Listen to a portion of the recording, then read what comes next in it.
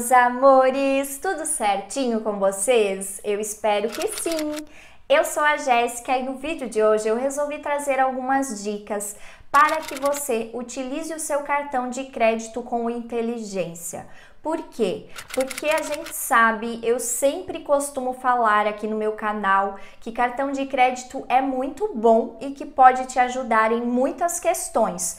Porém, a gente também precisa lembrar que cartão de crédito é sim brinquedo de gente grande e se a gente não se controlar, muitas vezes a gente pode acabar se endividando, pode virar uma bola de neve e pode ser complicado, né, pessoal? Então, por isso que eu resolvi trazer essas dicas que até assim parece clichê, mas que são dicas que realmente funcionam, tá, pessoal? Que a gente precisa sim tomar esses cuidados. E também é muito importante você escolher o seu cartão de crédito é, que tenha a ver com o estilo de vida, com o seu estilo de vida. Na hora de escolher esse cartão, pesquise, faça pesquisas, vá atrás, entra no site, verifique os benefícios, acesse o YouTube, reclame aqui todas as possibilidades possíveis para que você não é, escolha um cartão cartão de forma errada. Eu sei que é possível cancelar depois, mas o melhor é você já escolher um cartão que tenha a ver com você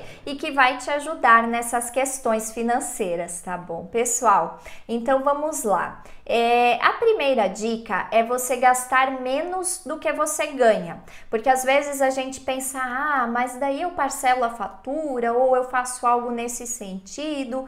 Então a dica é você sempre ficar de olho para não acabar gastando mais do que você ganha, porque isso pode te prejudicar. Como eu já falei, pode virar uma bola de neve e você não conseguir pagar, tá? Outra dica que é bem importante é você controlar também os parcelamentos porque às vezes a gente compra algo, a gente, sei lá, parcela em 12 vezes e a gente esquece, a gente deixa ali, né? Então a gente não vai controlando. E é importante sim a gente ter esse controle financeiro para que a gente não se perca. Então, até o ideal é você ter ali uma planilha financeira para te ajudar nesse controle de gastos, controle de parcelamento e tudo mais, tá? Outra coisa importante é você escolher o seu cartão de forma que ele combine com você, como eu já falei no começo desse vídeo. E é importante você verificar essa questão também de anuidade.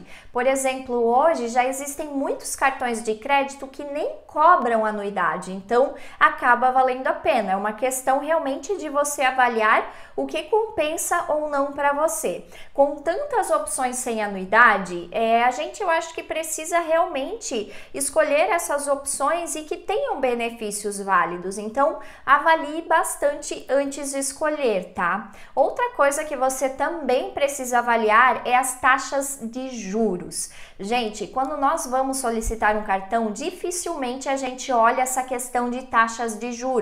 Porém, é algo que é essencial, porque eu sei que a gente não quer atrasar a fatura, a gente não quer ter que parcelar a fatura, mas a gente também sabe que pode acontecer. Então, por isso é muito importante olhar essas taxas, porque tem cartões de crédito que falam: "Ah, a gente não cobra anuidade e tudo mais". Só que quando você vai ver as taxas de juros, você cai para trás, porque as taxas são altíssimas. Então, é sim muito importante você fazer essa conferência tá?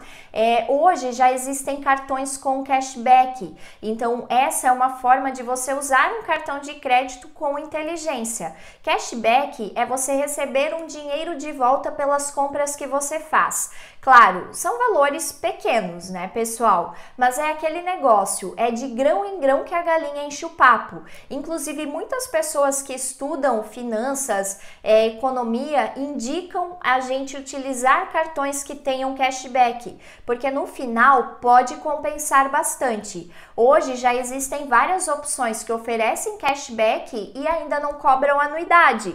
Então é realmente uma questão de você avaliar, tá? É, vamos lá. Priorize o cartão virtual para as suas compras digitais. Essa é uma dica mais de segurança. Por quê? Porque o cartão virtual, ele já foi criado com o intuito de você fazer as suas compras online com mais segurança.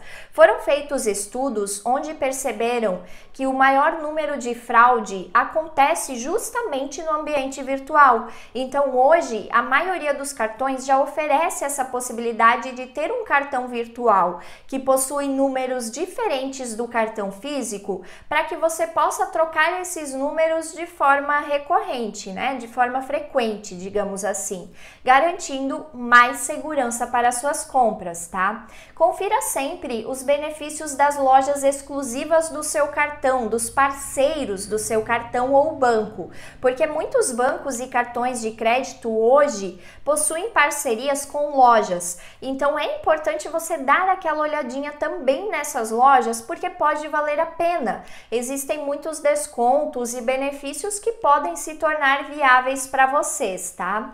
Aproveitem também programa de pontos. Muitas cartões é, e bancos digitais oferecem programa de pontos, até a própria bandeira, como por exemplo no caso da Mastercard tem o Mastercard Surpreenda e no caso da Visa tem o, o programa Vai de Visa, que são programas de pontos também. Então fique atento a essa questão do programa de pontos também, tá?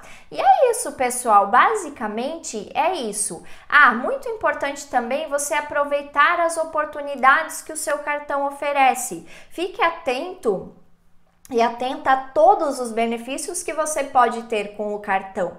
Muitos cartões oferecem milhas, tem vários benefícios que você precisa se atentar. Então a gente precisa sim usufruir esses benefícios, inclusive os benefícios oferecidos também pelas bandeiras. E é isso, pessoal. Esse foi o vídeo de hoje. Eu espero de coração que eu tenha ajudado, tá? Eu peço para que você compartilhe nos comentários a sua dúvida, a sua opinião, o seu relato, até para que a gente possa conversar e se ajudar referente ao assunto, tá bom?